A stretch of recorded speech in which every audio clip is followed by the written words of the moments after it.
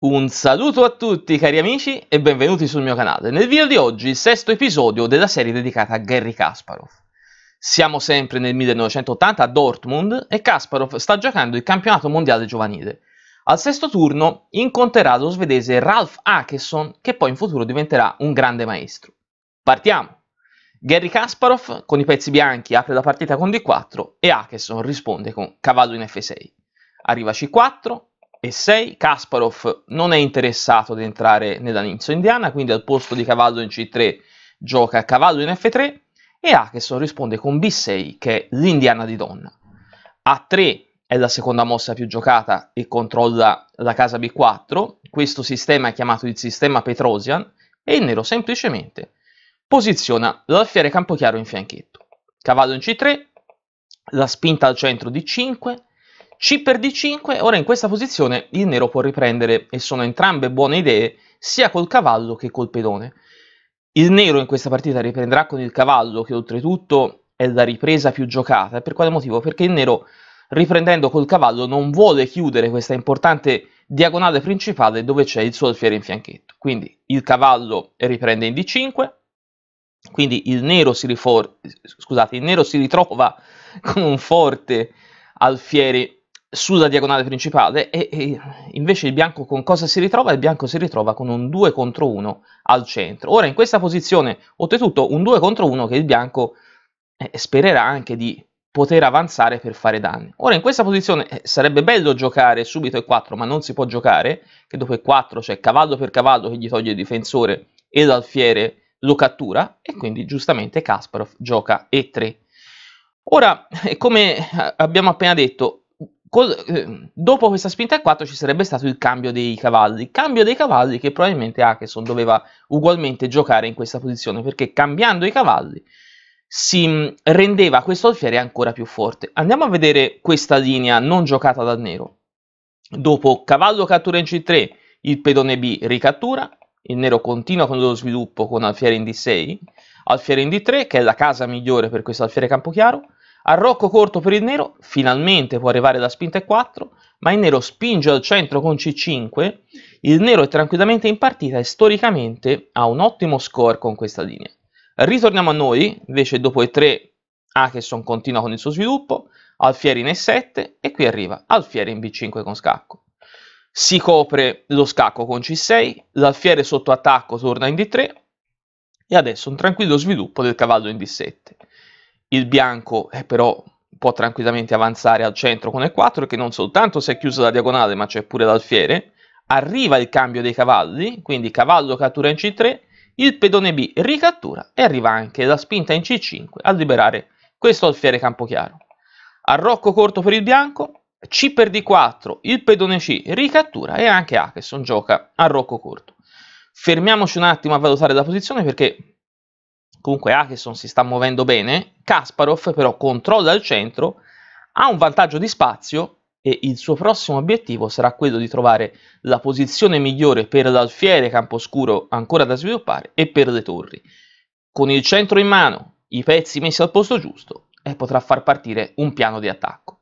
Quindi intanto la donna si sposta in E2, torre in C8, questo alfiere camposcuro che poteva anche muoversi in F4, invece Kasparov, vedete, lo mette in fianchetto a guardare direttamente il castello nero, con l'alfiere che è in fianchetto Akeson continua nel suo sviluppo estremamente logico. Donna in C7 non ha paura di torre in C1, perché senza l'alfiere che controlla questa diagonale, la donna del nero tranquillamente potrà spostarsi in maniera anche molto attiva in F4 quindi Kasparov glielo impedisce subito perché gioca donna in E3 e adesso cavallo in F6, oltretutto libera, vedete, una casa per la donna. Ora, un'altra bella manovra di Kasparov, il salto del cavallo in E5, vedete che non soltanto bello centralizzato il cavallo, ma blocca una possibile spinta al centro, il 5 del nero, non soltanto fa questo, ma libera anche la colonna F, sarà Kasparov a spingere il pedone in F4 arriva a B5, bella mossa, perché anche se il pedone sembra in presa, perché naturalmente il contrattacco del nero è qui sul lato di donna, dove lui ha il 2 contro 1, il pedone del nero sembra in presa, ma il bianco non lo catturerà mai e poi mai, perché vincerà un pedone laterale, perdendo invece un pedone centrale, Quindi, bella mossa, e Kasparov invece continuerà con il suo piano, spingerà in F4.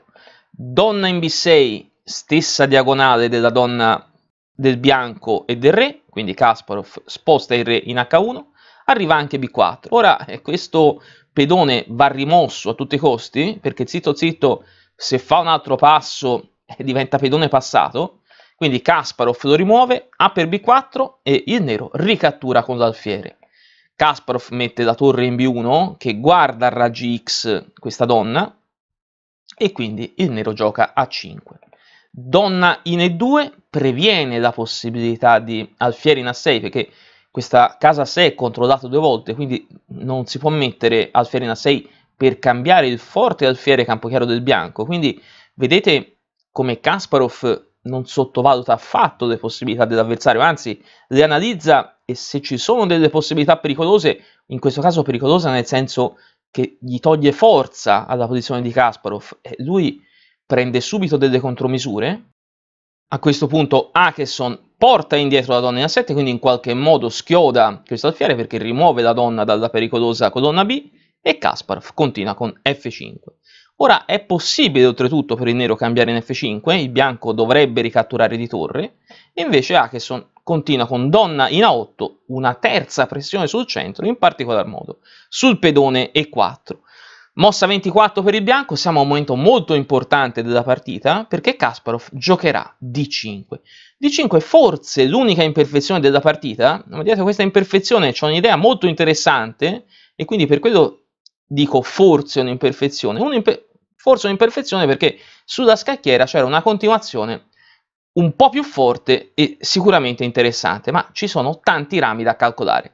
Guardiamola insieme, ritorniamo indietro di una mossa, in questa posizione interessante F cattura in E6, probabilmente la mossa migliore. La mossa migliore qui bisogna intanto valutare che è interessante eh, andando a capire che per forza il nero deve ricatturare in E6. Andiamo infatti a vedere cosa succede se il nero invece cattura con l'alfiere in E4. Andiamo subito a vedere, dopo alfiere cattura in E4, il pedone cattura in F7 con scacco, qui ci sono soltanto due possibilità, o la cattura di torre o il re si sposta, dopo torre cattura in F7 arriva alfiere cattura in E4, vedete che il cavallo è praticamente inchiodato sulla torre e quindi eh, qui il nero è già sotto di un pezzo, quindi il, vince, scusate, il bianco vincerà sicuramente un pezzo, quindi dopo la cattura in F7 con scacco, l'altra possibilità è spostare il re in H8, ma adesso arriva il sacrificio di qualità, torre cattura in F6, quando il sacrificio torre su cavallo, che è quello che di solito si verifica perché è il cavallo di solito a essere in queste posizioni, no? F6, F3, eccetera, eccetera, ma quando c'è un sacrificio di qualità che spacca l'arrocco, è un sacrificio va sicuramente sempre valutato. Infatti anche in questo caso spacca l'arrocco, ora si ritrova, oltretutto toglie il difensore dell'alfiere che si ritrova due volte sotto attacco, quindi per salvare il pezzo bisognerà giocare alfiere cattura in G2 con scacco, il re semplicemente si sposta e qui bisogna riprendere materiale, quindi G per F6, arriva donna in F2, vedete che se il pedone cattura il cavallo, donna in F6 e scacco matto, per salvarsi dal matto, che eh, si stava fortemente minacciando, si può riportare indietro l'alfiere in F3, quindi sempre protetto dalla donna che chiude questa colonna F per la donna, ma la donna si sposta in H4, c'è un'altra casa di matto e quindi un attacco fortissimo per il bianco. Tutto questo per dire che interessante questa cattura in F6 perché qui il nero deve per forza ricatturare. Andiamo a vedere che succede, perché dopo che il nero ha ricatturato, adesso arriva la spinta di 5, anche qui il nero deve catturare per forza, perché se il nero non cattura il pedone, il pedone cattura lui in E6 e crea un fortissimo avamposto per il cavallo bianco. Quindi attenzione, quindi bisogna catturare anche in D5. Adesso salto del cavallo in G4, ci sono tre pezzi che attaccano il cavallo in F6. Il cavallo dovrà essere scambiato, ma non in E4 perché non funziona. Andiamo a vedere dopo cavallo cattura in E4 c'è cavallo in H6 con scacco. Se si accetta il pezzo si apre totalmente l'arrocco, si perde la partita, quindi il re si dovrà spostare in H8, cavallo in F7 con scacco, di nuovo due sole possibilità, o si cattura o si sposta il re. Dopo torre cattura in F7, abbiamo la torre che ricattura in F7, attenzione perché l'attacco diventa fortissimo dopo donna in G4, se invece dopo lo scacco di cavallo il re ritorna in G8 è ancora peggio, perché c'è alfiere per cavallo, il pedone riprende il pezzo, donna in G4 con la minaccia di matto, la torre cattura in F7, torre per torre, e il re è costretto a ricatturare, ma qui arriva la donna in settima, donna in D7 con scacco, l'alfiere si può interporre, ma c'è lo scacco di torre in F1, il re si sposta, perso pure l'alfiere, si riminaccia matto e qui c'è già il matto forzato sulla scacchiera. Quindi, ritornando a questo cavallo in G4, abbiamo detto il cavallo deve essere cambiato, bisognerà cambiarlo sul cavallo. Dopo cavallo per G4, la donna ricattura, attenzione alla minaccia di matto, attenzione che non si può avanzare se no casca tutto. Oltretutto c'è anche il discorso delle, degli attacchi poi di scoperta, quindi torre in C7 per attivare la torre e proteggere la casa G7 è la soluzione migliore, arriva E5 e qui si ferma la nostra analisi perché vedete c'è un forte pedone passato, tutti i pezzi attivi che puntano sul re, il pedone può continuare anche ad avanzare con forse non un vantaggio de eh, decisivo ma sicuramente un buon vantaggio per il bianco, oltretutto con questa pericolosissima diagonale debole, debole per il nero. Ritorniamo a noi e andiamo però invece a vedere che dopo D5 Kasparov ha un'altra idea in mente. Infatti il nero cattura in D5 perché come abbiamo detto se no intanto c'erano due catture e poi si creava questo fortissimo avamposto per il cavallo. E qui il salto del cavallo in G4. Se il cavallo cattura spacca l'arrocco, quindi il nero deve assolutamente cambiare il suo cavallo in G4. La donna ricattura, questa è l'idea di Kasparov, la spinta in F6 per indebolire le case scure intorno al re nero. Quindi è direttamente Acheson che spinge F6.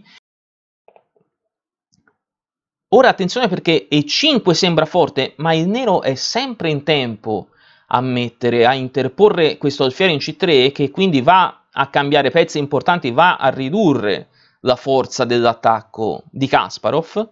Quindi Kasparov ci pensa per 45 minuti spara il sacrificio su F6. Alfiere cattura in F6, si può e si deve catturare, ma soltanto di torre, perché il pedone è inchiodato sul re, quindi il nero ricattura con torre cattura in F6, adesso E5 arriva, arriva con tempo perché la torre è sotto attacco. Posizione ancora in bilico, eh, ma qui il nero si, deve, si dovrebbe difendere come un computer, Acheson toglie la torre per evitare di eh, accelerare ancora i pedoni, e invece paradossalmente questa mossa logica è l'errore perché il nero si sarebbe salvato soltanto con torre in F7 e poi continuando a difendere come un computer. Qui arriva F6 che, mina che minaccia la cattura di donna e il matto in 1, quindi come abbiamo visto nella mm, variante precedente torre in C7 a proteggere la casa di matto, ma l'altro pedone passato, anzi il pedone passato, l'altro pedone avanzato avanza in E6. Arriva donna in D8 e siamo arrivati, mossa 31 per il bianco, al nostro quizzone tattico, perché Kasparov adesso sferra il colpo del KO. Mettete quindi pure in pausa se volete ed a voi la parola. Ritorniamo a noi perché la soluzione al quizzone, che è anche la continuazione giocata da Kasparov, è la fortissima E7, vedete che è contemporaneamente un attacco alla donna ma anche un'interferenza. Adesso la torre è bloccata dal pedone sulla settima traversa, non difende più la casa di matto in G7 e quindi è qui eh, per salvare la donna ed evitare il matto l'unica mossa possibile è quella giocata da Acheso, torre cattura in E7. Quindi torre per E7, si salva la donna, si salva anche il matto ma la torre è perduta, quindi il pedone F cattura la torre in E7, la donna ricattura e adesso arriva torre in B che va in C1 che minaccia bruttissime cose sull'ultima traversa, che qui vedete il re completamente bloccato, torre e donna stanno guardando pericolosamente la casa C8, quindi nero giustamente torna indietro con la donna in D8 a difendere l'ultima traversa, in particolare la casa C8, e Kasparov trova un'altra casa di invasione,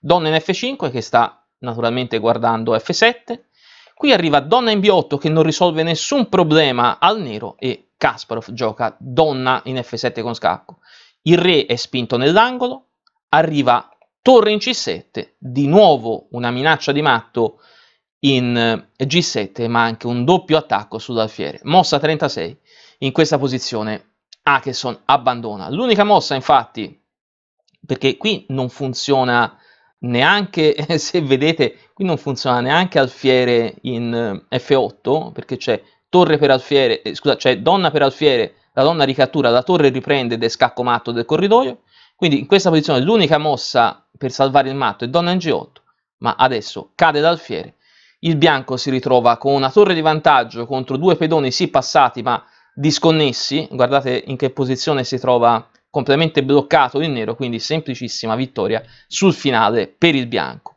Un'altra bella partita di Kasparov, che come dite sempre anche voi ha un gioco di pedoni eccezionale, stavolta dopo il sacrificio di Alfiere in F6, quei due pedoni centrali, come gli artigli di un mostro, hanno squarciato la difesa del povero Akeson, che oltretutto no, non è che fosse l'ultimo degli sprovveduti. Ha continuato anche a giocare fino a tarda età, un forte giocatore di torneo. Spero che la partita di oggi vi sia piaciuta, domani abbiamo un altro Kasparov ancora più mostruoso, poi Bobby Fischer e la grandissima Judith Polgar. Non scordate di like al video, non scordate di iscrivervi al canale, ci vediamo domani con una nuova partita. A presto!